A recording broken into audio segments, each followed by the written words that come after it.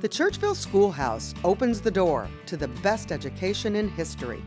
Visitors to the Churchville Schoolhouse take a step back in time to watch history unfold in a restored National Register of Historic Places property that dates to the Civil War era.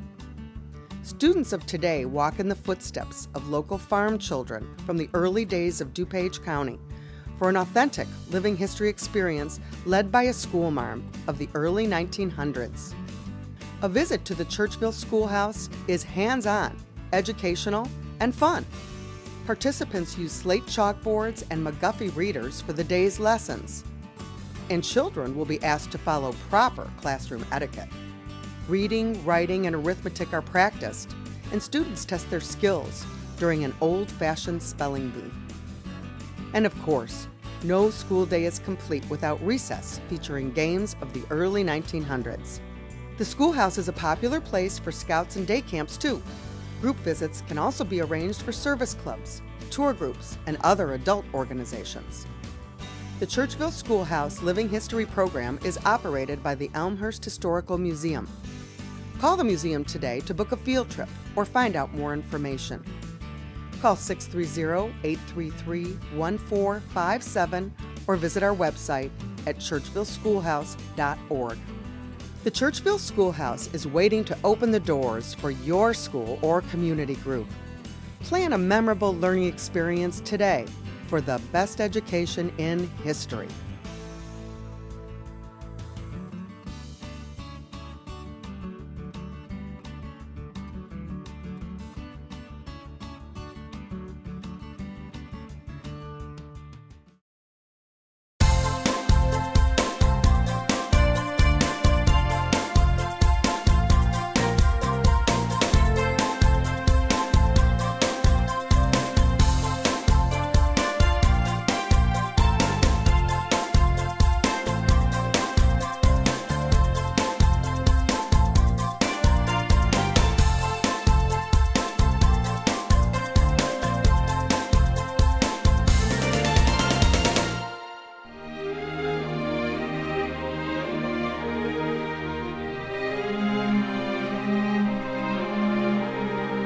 Welcome to Elmhurst Time Travelers. I'm Ken Bartels, your host, and today I have Lance Tawzer, curator of exhibits at the Elmhurst Historical Museum, and Brian Bergheger, its director, and we're here on the second floor of the Glos Mansion. In our last program, gentlemen, we were at the Churchville Schoolhouse and we were talking about the new Elmhurst exhibit, by all accounts, the story of Elmhurst. It was a preview of the exhibit. Now we're standing in the exhibit. How does that feel? Well, it's wonderful to have the exhibit up, and the exhibit's come a long way from uh, last time we visited with you at Churchville Schoolhouse. As you said, it's open now to the public, and we're getting great reviews. What's it feel like, Lance, to finally, after years of preparation, to have it be open? Well, obviously, it's a bit of a relief that, that we were able to pull it together. We had an amazing team that kind of worked very, very hard to get the openings going. But uh, I think it's, uh, you know, there's a sense of pride that uh, you, you started with an idea, you carried it all the way through. We had the foundation sort of uh, coming up with the funding to make it all happen. And so when I walk through the space, I, I really get a sense of pride of, of, of what we've achieved as a team. What's been the initial public reaction? Well, we had a great opening weekend here at the Historical Museum when the exhibit opened. In addition to the exhibit, we had live music, children's activities, and refreshments. And folks who visited the, muse- the museum's exhibit at that point, I think, came away thinking that there's something for everyone in this exhibit something for young kids, something for adults, something for new residents of Elmhurst, as well as for people who have lived here 20, 30, or 50 years. Lance, your impressions? Yeah, I really enjoy watching people interface with the exhibit. So I, I, usually, you know, stand in the corner a little bit and sort of try to watch, you know, how people walk through the space. Uh, you know, as much time as we spend uh, working on this, you cannot uh, control human behavior. So they're going to go to places initially that I wouldn't expect. They're going to look for things that uh, in a different way, and it actually it really adds a lot to us. We we've been sort of uh, making notes and asking questions all along the way. The, the reaction has been tremendous, and, and people, I think, are, are getting it from the standpoint that there's a lot here. Uh, they always come away with saying, wow, this is amazing, and I've got to come back because there's a lot more to see. And that's really what we were hoping to get.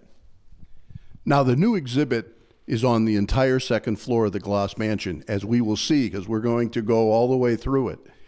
But one of the things that impresses me about the exhibit is its sequencing. So I don't need a lot of description because we're going to go to all these places, but when you come up the stairs, what kind of order do you go through the exhibit? Now, Brian, why don't you start? Well, I'll start, Ken.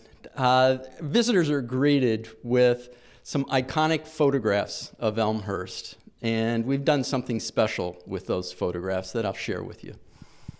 And then, Lance? Well, then uh, we really tried to make a, a, multiple educational approach to the to the main gallery. So there's there's the sections of the exhibit include this introductory element that Brian was talking about, but there's a main gallery where most of the interpretive elements are and all of the artifacts are and the images and all the interfaces and things. And then there's a, a, a, middle section where we put in a real signature technology exhibit on the uh, geographical history of the, of the, of the city. And then the last section is a, a mini theater, the space that we're currently in. Well, let's talk about this mini theater. What are we seeing here? Well, this is an eight minute documentary that uh, shares with our visitors a lot of iconic photographs, iconic scenes of Elmhurst's history and narrated and, and completely shot with vintage footage.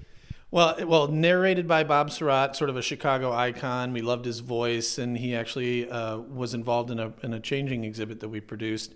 And uh, it's it's it's got an interpretive thread that really kind of puts in uh, uh you know puts the city's history in a historical context in an eight minute sort of you know uh, historical uh, narrative. You know, uh, a lot of images go by. Uh, a lot of uh, of the city's history is sort of summarized in this, and it's a really good introductory element. So that if, if people come in and they sit down and watch these eight minutes, if that's the only thing they do, which we hope it isn't, um, they're they're going to get a, a good sense of our city's history. Well, thank you, gentlemen. And now we're going to go to the very beginning of the new exhibit here in the Glos Mansion.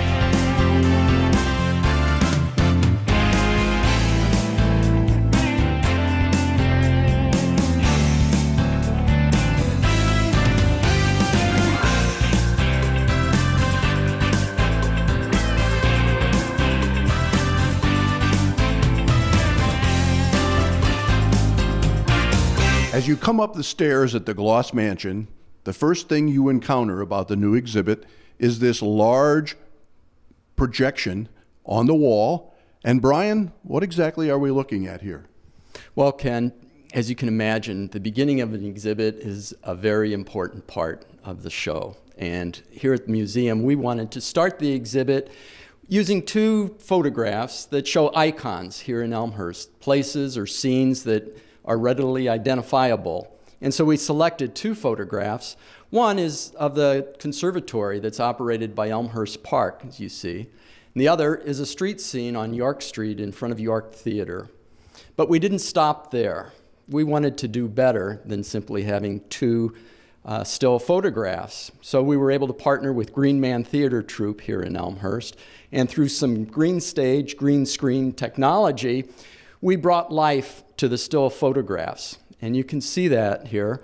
The actors in the photographs in the photographs are from Green Man Theater Troupe, and they were filmed in front of a green screen and then dropped into the still photograph. So what you see is a still photograph with actors from Green Man Theater Troupe, uh, and even a little automobile passing along that was placed into uh, the photograph uh, through the magic of green screen.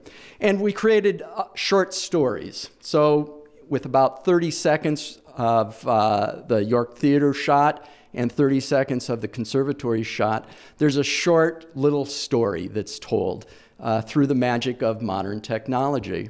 And these are iconic scenes in Elmhurst. Of course, uh, the conservatory was built in about 1923 by Elmhurst Park District. Uh, Wilder Park was the first park here in Elmhurst, and the Park District was formed uh, to accept a bequest from Thomas Wilders to create a park.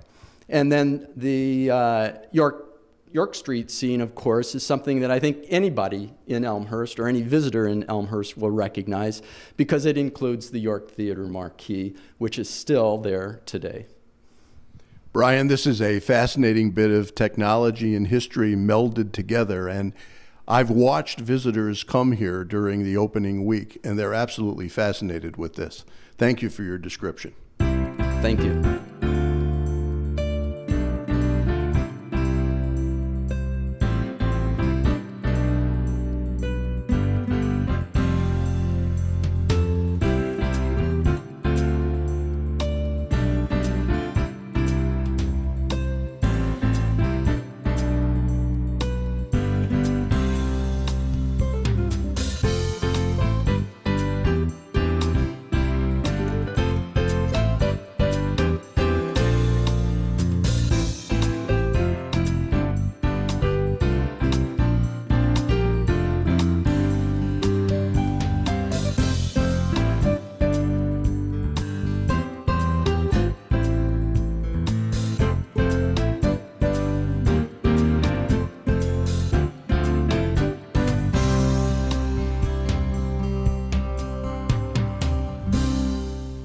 We're in the heart of the new exhibit now with Patrice Roche, the marketing and communications specialist for the museum.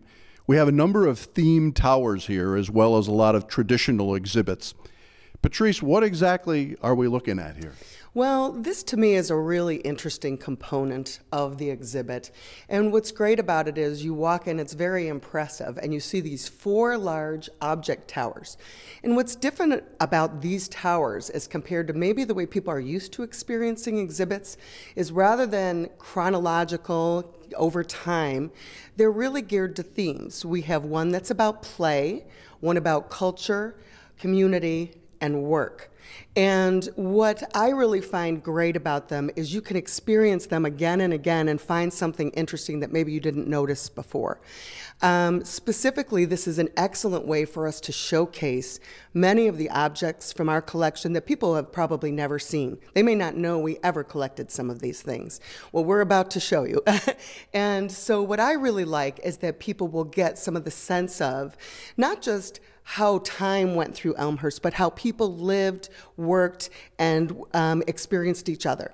And to me, it's really a great aspect. Um, you'll see, I'll show you right back here, this is the work object tower. And so this is all themed around all four sides of it about businesses that have come and gone in Elmhurst.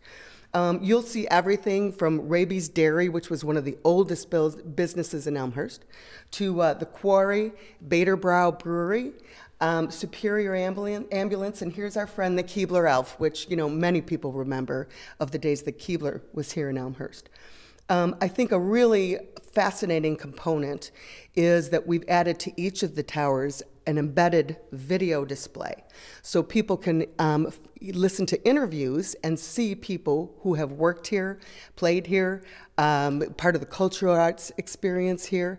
And all you have to do is press a button here and you'll be able to get this firsthand um, oral history from people, which is a great way for people to learn about Elmhurst history. Um, so all you have to do is just press this button and there you go.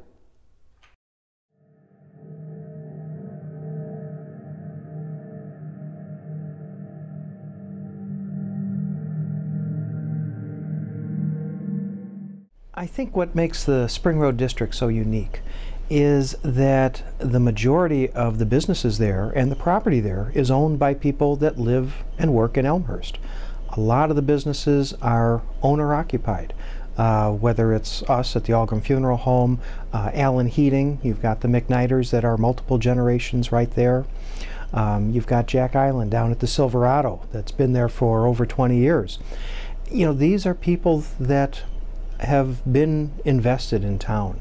Uh, they take pride in their property, they take pride in their business, and because they also pay taxes here, uh, they have a, a, vested interest in what happens on Spring Road. Um, I think that was very obvious when the city said they wanted to repave a part of the street and maybe fix some of the uh, curbing and some of the sidewalks.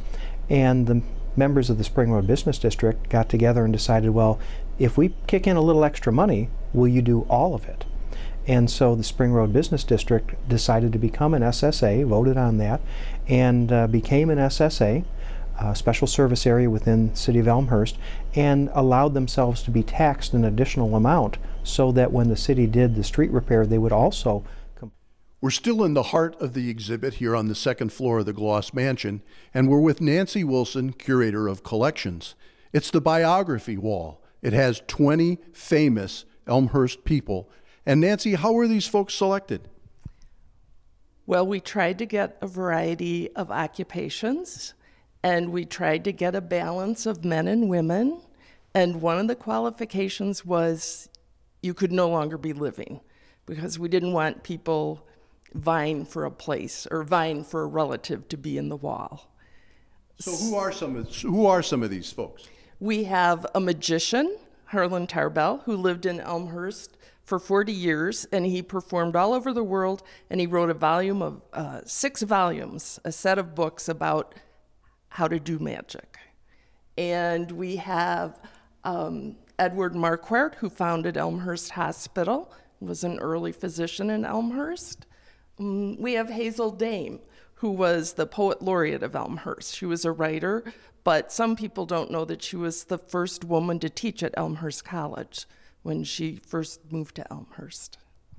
And I presume that over time this wall can be updated and changed or expanded. Yes, it, almost every component in the exhibit is um, fixed so that it can be changed, updated, new people might be put in um, over time. And how do visitors interact with this particular part of the exhibit? Well, they can look at the photographs, and then there are iPads on either side, and you just press the iPad, and you'll end up with the same images up here. These folks are in birth order, by the way. That's how Lance decided to place them. So if someone looks interesting, like this woman here, you can just push her portrait, and you'll see a picture of her, and then it'll tell you in 50 words. We were told no more than 50 words to write um, a brief summary of her life. She was the first woman doctor at Elmhurst Hospital, Elizabeth Copenau. Well, thank you, Nancy. This is fascinating, and I'm sure everyone will want to spend some time with the biography wall.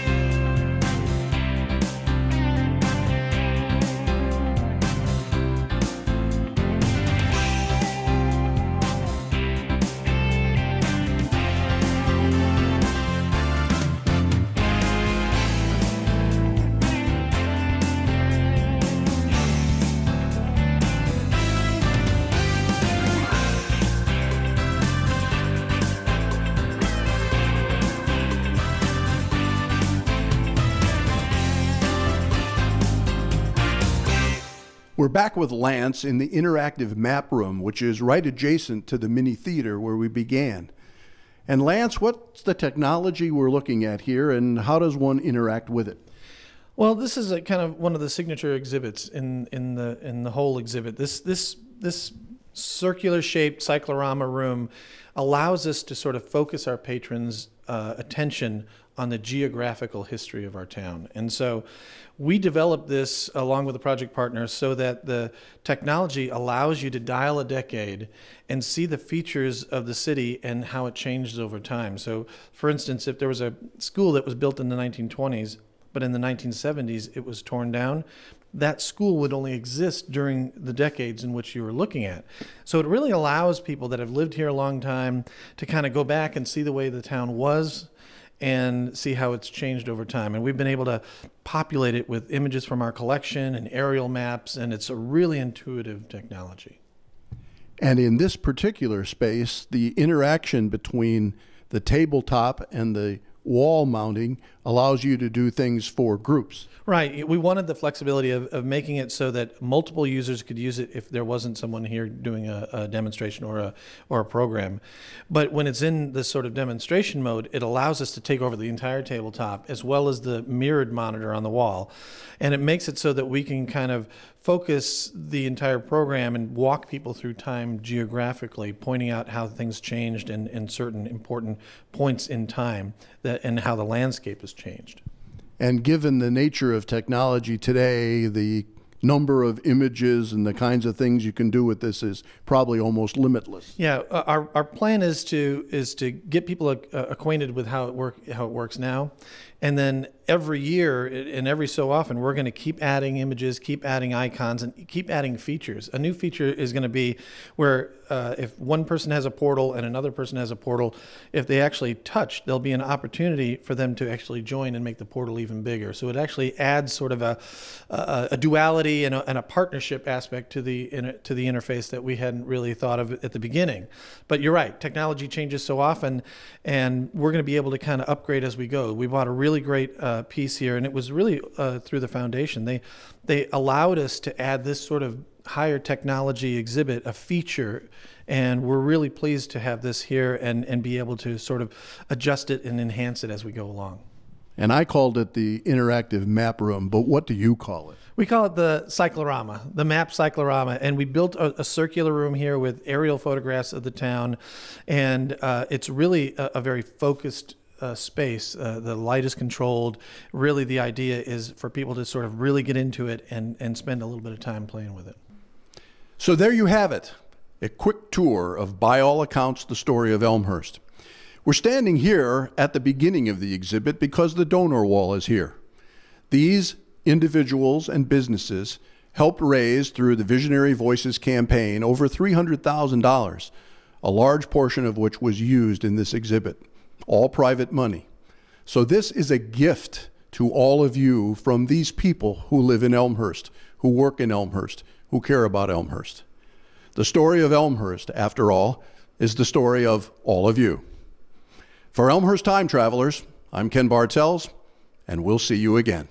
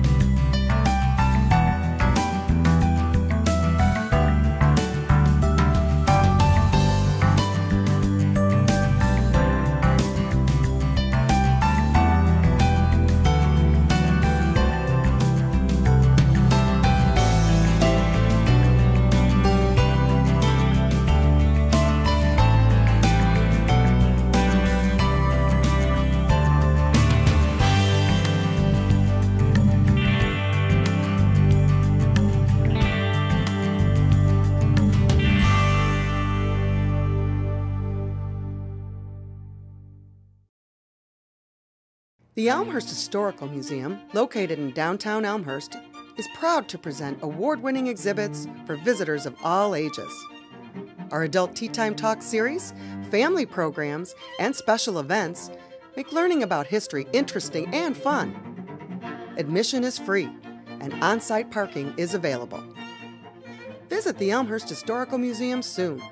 Call us today or go to our website for the latest program details.